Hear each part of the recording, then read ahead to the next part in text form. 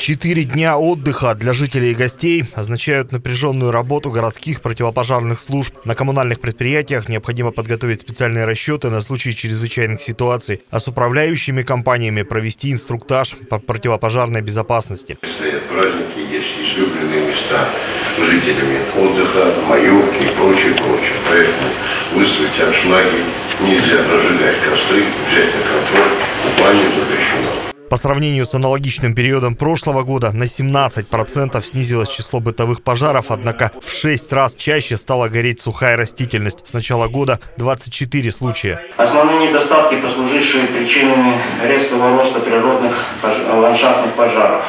Э, Это наземных сельхозпредприятий, не созданы добровольные пожарные дружины, укомплектованные инженерной техникой, м, передвижные емкости не предусмотрены, а также отсутствует инвентарь, хлопуши, ранцевые огнетушители, лопаты, багры. Нет подтверждающих документов о создании добровольных пожарных дружин. Следующее. Не дежурство добровольных пожарных дружин в течение всего пожароопасного периода. Пока обошлось без жертв и значительного ущерба, однако необходимо принимать самые серьезные меры. Работникам сельхозпредприятий, а также населению категорически запрещено выжигать траву. До 25 мая будет проводиться опашка шириной не менее 4 метров по границе сельхозугодий и населенных пунктов, а также вдоль лесных массивов. Хуторах и станицах определены порядка 30 специальных водоемов. Пожарные попросили провести их ревизию, обеспечить подъездные пути. Работу проведут совместно с главами сельских округов. Мы работаем в режиме не расслабленном. Основная задача для сельских округов это мониторинг, для управления сельского хозяйства это мониторинг брошенных земель, неухоженных, там что-то не знаю. Ну, э, надо понимать одно, когда брошено, это еще хуже.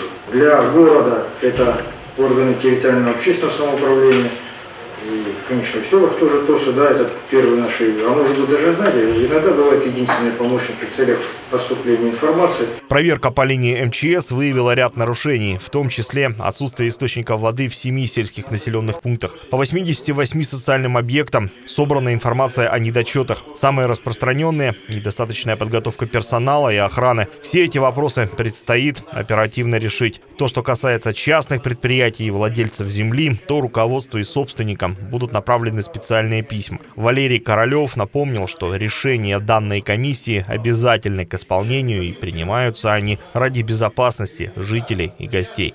Александр Ребека, Михаил Григорьев, Анапа регион.